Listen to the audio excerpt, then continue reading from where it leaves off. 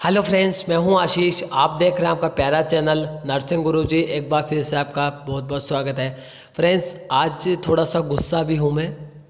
खैर, मेरे गुस्से से कुछ नहीं होने वाला। फाइनली मैं आपको जो बात बताना चाहता हूँ, जो शेयर करना चाहता हूँ, वो मैं आपको शेयर करना चाहता हूँ बात। ठीक है? सबसे पहले एक नोटिस मैं आपको करना चाहता हूँ। कल मैंने एक वीडियो अपलोड करी थी दिल्ली के अंदर यूएनए जो कि संगठन है दिल्ली के अंदर। Okay union nurses association Delhi NCR के अंदर है। उन्होंने बीस हज़ार सैलरी के लिए एक दिन के अंदर सीएम हाउस गए। सीएम हाउस जाने के बाद में सेकंड डे सीएम का रिएक्शन कोर्ट में गया फैसला। कोर्ट ने भी आदेश दे दिया, तीन महीने के अंदर अंदर बीस हज़ार सैलरी हो जाएगी। ये होता है रिएक्शन राजस्थान में हमने कितनी स्ट्राइक कर दी? दस से पंद्रह। ना कोई सैलरी का? अरे सैलरी तो छोड़ो। वैकेंसी वैकेंसी का हाल बताऊँ, एक छोटा सा एग्ज़ाम्पल मैं आपको बताता हूँ। इससे आपको शोर समझ में आएगा कि एक्चुअल में चल रहा क्या है। सबसे पहले आप मेरी अच्छे से बात सुनना फ्रेंड्स ओके 2010 के अंदर वैकेंसी आई, उसके बाद में तेरह के अंदर आई, उसके बाद में सो, सोलह अट्ठारह यानी कि तीन बार फॉर्म भरा लिया। कितने रुपए खर्च कर दिए? हमने स्टूडेंट से और गवर्नमेंट ने कितने पैसे कमा लिए? हाँ तीन बार फॉर्म भराने के पैसे गवर्नमेंट के पास है, ठीक है? जब उनका खर्च करने का समय आया, करोड़ों खर्च करने का समय आया एग्ज़ाम दिलाने का टाइम आया कि जितने पैसे खर्च हो गए, उतने ख़त्म हो। उन्होंने क्या किया? फ्री में। परसेंटेज बेस पे कर लिया। अब फ्रेंड्स ऐसे एक मेरे को बात बताइए आप। आपके कितनी परसेंटेज बनी एग्रीगेट मुझे क्या पता?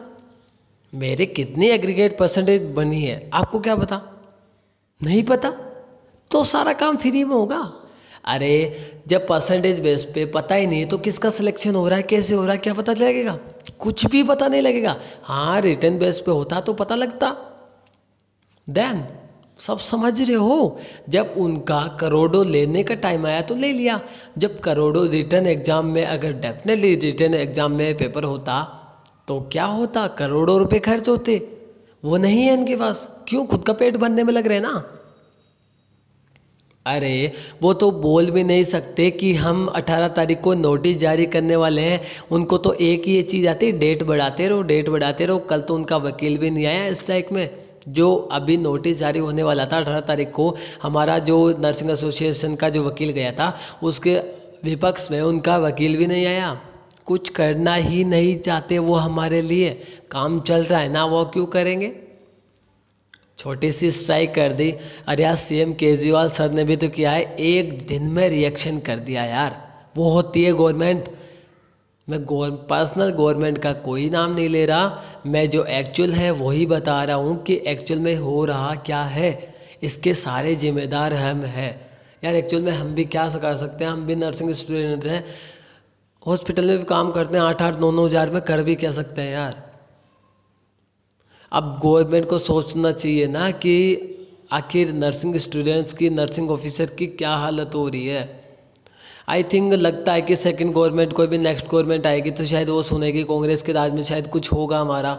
बाकी बीजेपी का तो मेरे को चांस बिल्कुल भी नहीं लग रहा इन्होंने हमारे लिए कुछ भी नहीं किया है। बाकी फ्रेंड्स आपको सबको बताया मैंने एग्ज़ाम्पल के थ्रू सब कुछ आपको बता दिया कि एक्चुअल में हो रहा क्या है। ये गवर्नमेंट हमारे लिए कुछ भी नहीं कर सकती, ना ही करना चाहती है। करना चाहती तो दो मंथ के अंदर जो हमने स्ट्राइक की, हमने नोटिस दिए, हमने ज्ञापन दिए, उनसे सब कुछ हो जाता।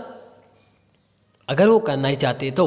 अब आप सब कुछ समझ गए हो लास्ट फाइनली ये वीडियो मैंने इसलिए बनाई है कि उनका वकील नहीं आया है और वो कुछ भी करना नहीं चाहते हमारे लिए।